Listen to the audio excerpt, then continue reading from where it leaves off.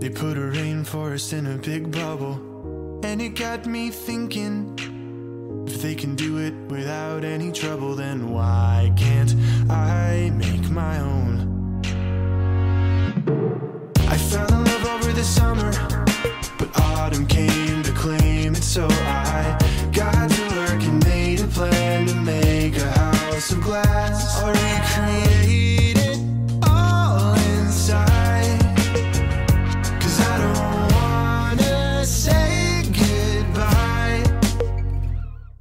be summer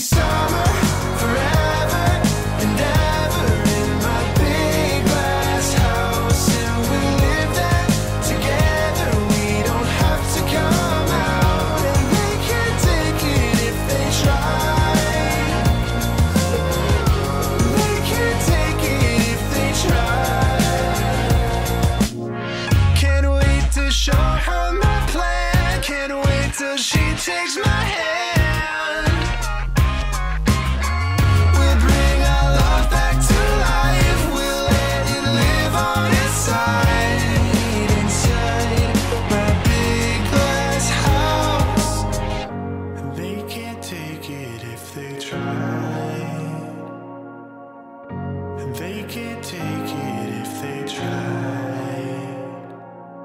They can't take it if they try. They can't take it if they try. Summer forever and ever, my big glass house, we'll live there together. It'll be.